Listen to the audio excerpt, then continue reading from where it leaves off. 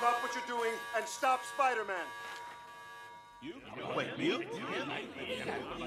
Miles, the blood.